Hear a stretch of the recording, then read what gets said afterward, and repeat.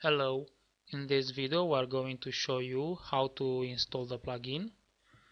From plugins menu click add new, upload, browse, double click the zip file, install now.